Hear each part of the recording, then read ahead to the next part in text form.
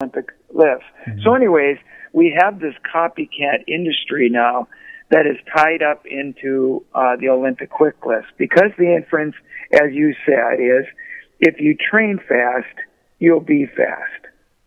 So, in other words, if you throw weights using momentum in the weight room, you will be more powerful and explosive out on the field.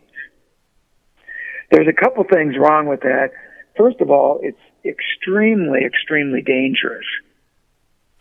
Uh, four years ago in the British um, Journal of Sports Medicine, there was a um, uh, research article published, and what the researcher did is he took a look at all the sports around the world, and what he wanted to find out was what sport was the most injury producing sport in all the world. And he did this per capita.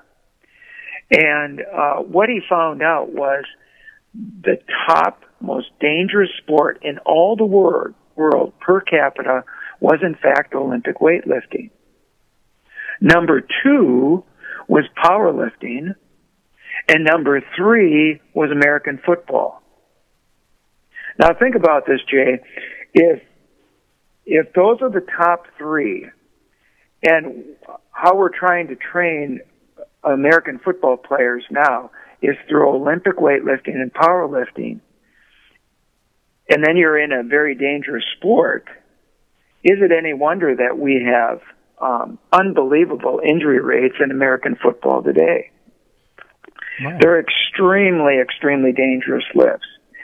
Uh, they're uh, the biomechanical loading that goes uh, with um, the Olympic quick lifts uh, tear up your joints. Um, they are highly technical lifts, so you have to spend a lot of time teaching them how to do this correctly. Um, and if there is a breakdown in technique, you're going to have injuries.